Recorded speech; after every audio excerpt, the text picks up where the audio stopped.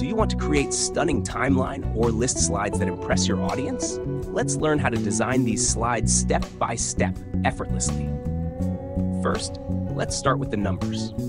Choose any bold font and make them nice and big. Next, we'll hide the bottom half of the number. Simply grab a rectangle, place it over the number, and change its color to white.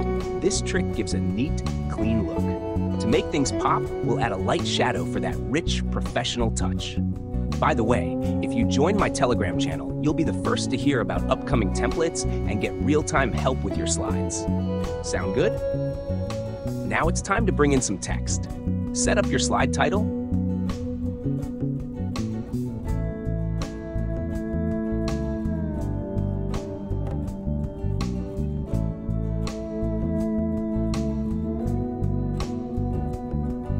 don't forget the icons.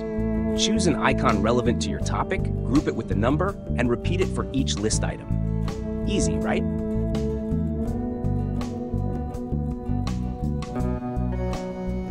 Once that's done, update the numbers, list title, and description. Play around with colors to make everything stand out.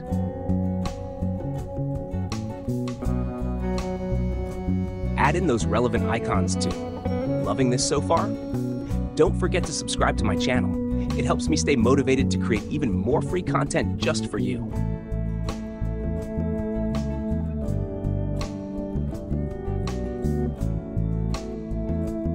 Finally, let's bring some life to the slide with animations. Select the items in the order you want them to animate. This will save you a ton of time later.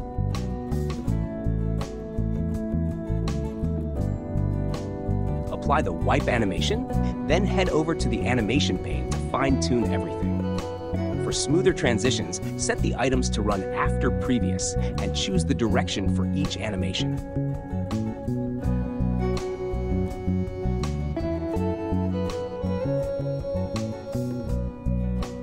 And there you go. Your slide is ready to shine. What other types of slides would you like to learn about next? Drop your suggestions in the comments. I'd love to know.